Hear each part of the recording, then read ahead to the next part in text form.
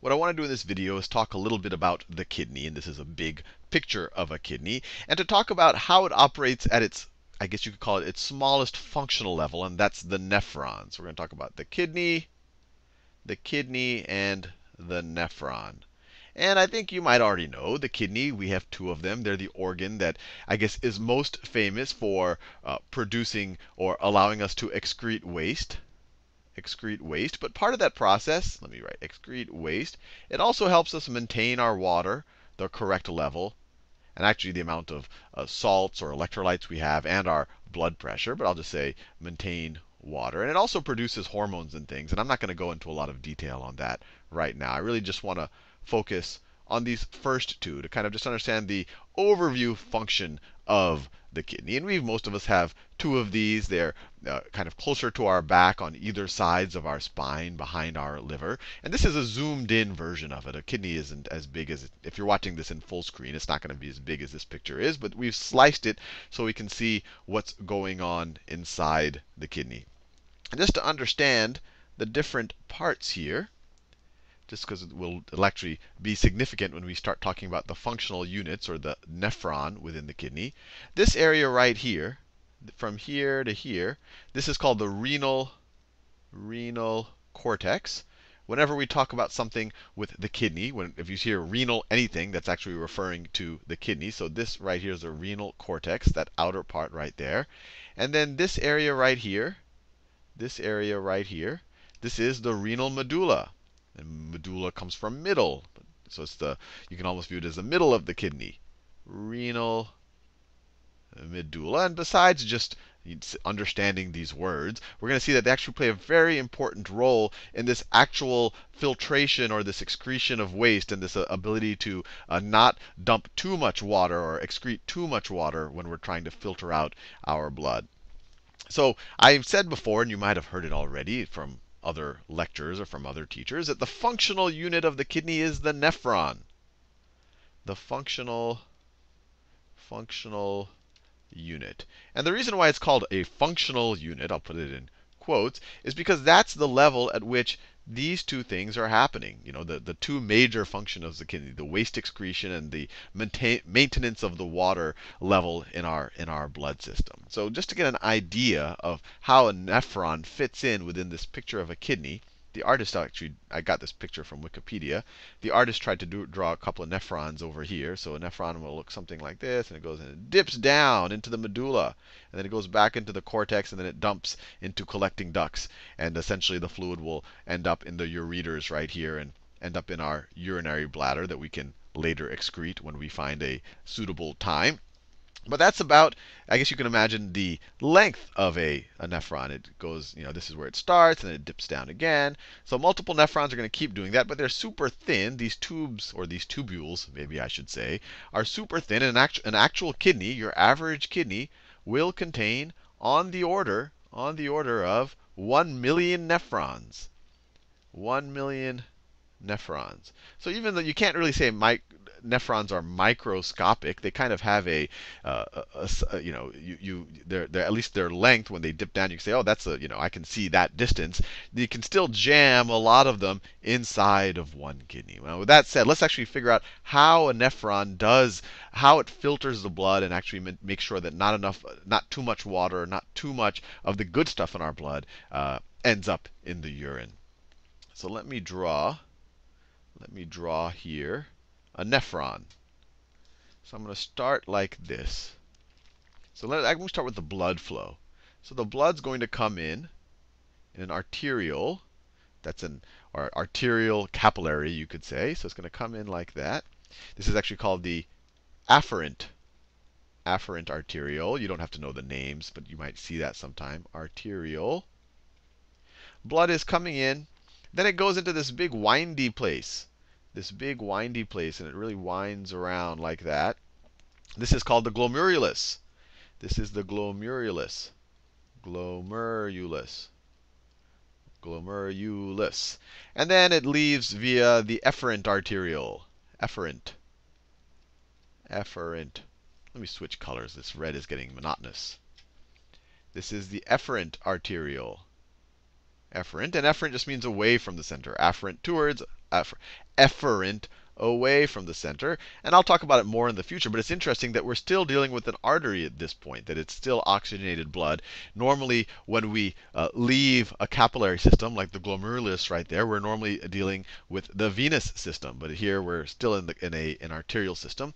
And it's probably because arterial systems have higher blood pressure. And what we need to do is we need to squeeze fluid and stuff that's, that's dissolved in the fluid out of the blood in the glomerulus right here. So this glomerulus is very porous, and it's surrounded by other cells. So let me just draw. So this is kind of a cross section. It's surrounded. Let me do it like this. It's surrounded like that by this structure. And these are cells here. So you can imagine these are these are all cells over here. And of course, the actual capillaries have cells that line them. So there are cells here. So when I draw these lines, these lines are actually made up of little cells. What happens is the blood comes in at really high pressure. This is very porous. These cells out here, they're called podocytes. Uh, they, they filter, they're, they're a little bit more selective in what gets filtered out. And essentially, you have about a fifth of the fluid that's coming in, about a fifth of the fluid that comes in ends up going into this space right here. That's called the Bowman's space. Well, actually, this whole thing is called the Bowman's capsule. You can imagine it as a some kind of a, it's a sphere with an opening in here that the capillary can kind of wind around in. And this space right here, this is the Bowman's space. Well, I mean, it's the space inside the Bowman's capsule. The Bowman's capsule. And the whole thing has cells. All of these structures are obviously made, or maybe not so obviously, they're made up of cells. And so we end up having filtrate in it. Filtrate is just the stuff that gets squeezed out. So I'll call it filtrate. We can't call it urine just yet because there's a lot of steps that have to occur for it to be kind of to, to earn the name urine. So it's only filtrate right now. And essentially what gets squeezed out, I said it's about a fifth of the fluid. And things that are easily dissolved in fluid, so small ions, so you know, sodium, maybe some small molecules like glucose, maybe some amino acids, amino acids. There are tons of stuff in here, but this is just give an idea. The things that do not get filtered are things like red blood cells, red blood cells, or larger molecules, uh, larger proteins. They will not get filtered. It's mainly the, the micro micromolecules that'll get filtered, that'll be part of this filtrate that shows up that shows up here in the Bowman space. Now, the rest of what the nephron does, the Bowman's capsule is kind of the beginning of the nephron. And just to get an idea on our big picture of our kidney, if let's say that this is a this is a Bowman's, let's say we're near an arteriole, this is a Bowman's capsule right here. It'll look something like that. And the whole nephron is going to get be convoluted like this, and it's going to dip down into the medulla and then come back, and then it's going to eventually dump into a collecting duct. And I'll talk more about that. So what I've drawn just here, this is a zoomed in version of that part right there. Now what I want to do is zoom out a little bit because I'm going to run out of space. So let me zoom out. So we had our we had our arterial go in, it gets all bunched in in the glomerulus, and then most of the blood leaves, but one fifth of it gets gets essentially filtered in to the Bowman's capsule. That's the Bowman's capsule right there. I've just zoomed out a little bit. So we have our filtrate here. I'll make it a little bit, maybe I'll make it a little bit uh, yellow. So we have our filtrate right here. That's you know the filtrate that just comes out at this point. Sometimes it's called the glomerular filtrate because it's been filtered by the glomerulus, but it's also been filtered by the podocyte cells on the inside of the Bowman's capsule. But now it's ready to go to the proximal tubule. So the proximal tubule sounds like a very so let me draw something like this. And obviously this is not exactly what it looks like, but it gives you the sense. This right here this right here, this is the proximal tubule. And it sounds like a very fancy word, but proximal just means near, and tubule you can imagine is just a small tube. So it's a small tube that's near the beginning. That's why it's called the proximal tubule. And it has two parts. It's often the whole thing is often called a proximal convoluted tubule. Convoluted tubule. And that's because it's all convoluted. The way I have drawn it, it's all curvy. And I just drew it curvy in two dimensions. It's actually curvy in three dimensions. But the, the reality is there's a curvy part and then there's a straight part near the end of the proximal tubule. So they'll call this whole thing the proximal tubule. This is the convoluted part. That's the straight part. But we don't have to get too picky. But the whole point of this part of the nephron, And just to give, just to remember where we are, we're now at this point of the nephron right there.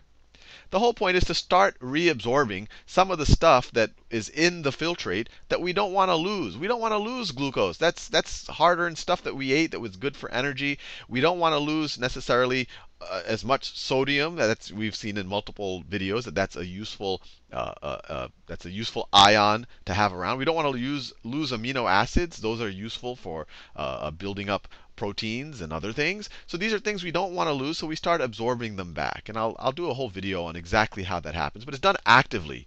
It's since we're we're using ATP, and just as a bit of a summary, you're using ATP to actually pump out the sodium, and then that actually helps bring in the other things. That's just a kind of a tidbit on what's happening. So we're reabsorbing. So just imagine what's happening. You have cells you have cells lining the proximal tubule right now. And actually, they have little things that jut out. I'll do a whole video on that because it's actually interesting. So you have cells out here. And on the other sides of the cells, you have an art arterial system, or a capillary system, I should say, actually. So let's say you have a capillary system here that is very close to the cells lining the proximal tubule.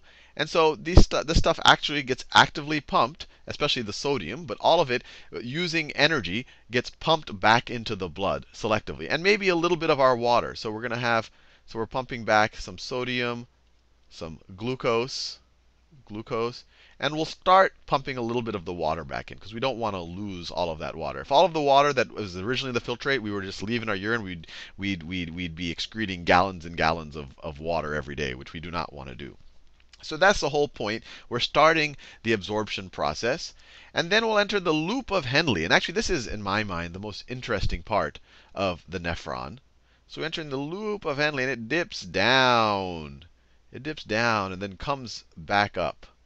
So the loop of Henle. And so most of the length of the nephron is the loop of Henle. And if I go back to this diagram right here, if I'm talking about the loop of Henle, I'm talking about this whole thing right there. And you can see something interesting here. It crosses the border between the cortex, this light brown part, and the renal medulla, this kind of reddish or orange part right there. And it does that for a very good reason. And I'm going to draw it here. So let's say this is the dividing line. This is the dividing line right here. This right here was the cortex. This right here is the medulla. Is the medulla. So the whole point, well, there's two points of the loop of Henle. Loop of Henle. One point is to make the medulla salty. Make the medulla, the renal medulla, salty. And it does this by actively pumping out salts. So it actively pumps out salts, and it does that in the ascending part of the loop of Henle. So this is the ascending part. So it actively pumps out salts, sodium, uh, potassium, chloride, or chlorine, I should say, chlorine ions. It actually actively pumps out, it actively pumps out these salts right here to make the entire medulla, to make the entire medulla salty, or if we think about it in terms of kind of osmosis, make it hypertonic. You have more solute out here than you have in the filtrate that's going through the tubule. So what it does is it makes it, and it uses ATP to do this. All of this stuff requires ATP to actively pump against a concentration gradient. So this is salty. It's salty. And it's salty for a reason. It's not just to take back the, the you know these salts from the filtrate, although that's part of the reason. But by making this salty, so this part, the ascending part, is only permeable to these salts and these ions. So only ions, it's not permeable to water. So we could say not permeable to water. Not water. The descending part of the loop of Henle is only permeable to water. Only water. So what's going to happen? If this is all salty because the ascending part is actively pumping out salt, what's going to happen to water as it goes down the descending loop? Well, it's hypertonic out here. Water will nat naturally want to go and kind of try to make the, the concentrations balance out. I've done a whole video on that. It doesn't happen by magic. And so the water will, because this is hypertonic, it's more salty, and this is only permeable to water, the water will leave the membrane on the descending part of the loop of Henle right now. And this is a major part of water reabsorption. And if you know, I've, I've thought a lot about, you know, why, why, why don't we just actively pump? Why don't we use ATP somehow to actively pump water? And the answer there is there's no easy way to do that. Biological systems are good at using ATP to pump out ions, but it can't actively pump out water. Water is kind of a hard thing to, for proteins to operate on. So the solution is to make it salty out here by pumping out ions, and then water, if you make this porous only to water, water will naturally flow out. So this is a major mechanism of gaining back a lot of the water that gets filtered out up here. And the reason why this is so long is to give time for this water to secrete out. And that's why it dips nice, pretty nice and pretty far down into this salty portion. So then we leave the loop of Henle, and then we're almost done with the nephron. Then we're in another convoluted tubule, and you might even guess the name of this convoluted tubule. If this was the proximal one, this is the distal one. And actually, just to make my drawing correct, it actually passes very close to the, the, Bowman's capsule. So let me do it in a different color. The distal convoluted tubule, it, I wanted to do that in a different color. The distal convoluted tubule actually goes pretty close to the Bowman's capsule. And once again, I've made it all convoluted in two dimensions, but it's actually convoluted in three. And it's not that long, but I just had to get over here, and I wanted to get over that point right there. It's called distal. Distal is further away. It's convoluted, and it's a tubule. So this right here is the distal, distal convoluted tubule. And here we have more reabsorption, uh, calcium, more sodium reabsorption. We're just reabsorbing more things that we didn't want to lose in the first place. And there, there's a lot of things we could talk about what get reabsorbed, but this is just the overview. And we're also reabsorbing a little bit of more water. But then at the end, right here, our filtrate has been processed. A lot of the water has been taken out. It's a lot more concentrated. We've reabsorbed a lot of the salts, electrolytes that we want. We've reabsorbed the glucose and a lot of the amino acids. Everything that we want, we've taken back. We've reabsorbed. And so this is mainly, mainly waste products and water that we don't need anymore. And then this gets dumped into collecting ducts this gets dumped into collecting ducts. And you can kind of view this as the trash chute of the kidney, where multiple, multiple, multiple nephrons are going to dump into this. So that might be another, that might be the distal tubule of another nephron right here. This is a collecting duct. Collecting duct, which is just a tube that's co collecting all the byproducts of the, of the nephrons. And the interesting thing is collecting duct further goes into the medulla again it goes into the medulla again, to the salty part again. So if we're talking about the collecting duct, maybe the collecting duct's coming back into the medulla, co collecting all of the filtrate from the different nephrons. And because it goes back through that super salty spot uh, in the, in the medulla, we actually have four hormones called antidiuretic hormone that can dictate how porous these, the, this collecting this collecting tube is. And if it makes it very porous, if it makes it very porous, it allows more water to leave as we go through the medulla because this is very salty. So the water will leave if this is porous. And when we do that, what that does is it makes the filtrate, and we can maybe start calling it urine now, even more concentrated. So we don't lose, uh, so we lose even less water, and it keeps collecting, collecting, collecting until we end up here, and it leaves the kidney and, and goes via our ureters to the urinary bladder. So hopefully you found that helpful. And I, you know, I think the neatest thing here is just how we actively reabsorb the water and how we, uh, well, actually, for, in, in my mind, that is the, the neatest part in the loop of Henle.